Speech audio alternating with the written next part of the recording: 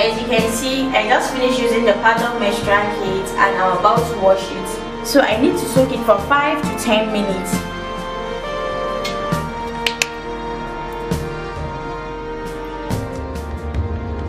So now I need to flush this water out. You see? No stain. Nothing nothing so let's flush the water out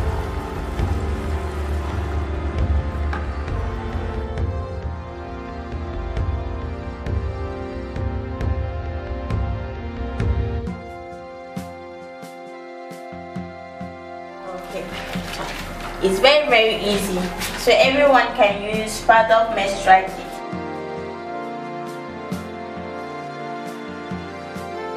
So if you want to sun dry it, you can take it outside and dry it. And if you want to air dry it, you can put it in your toilet just the way I'm about to do now. You just dry it in your toilet. Very easy for you to take it. So I'm done washing it.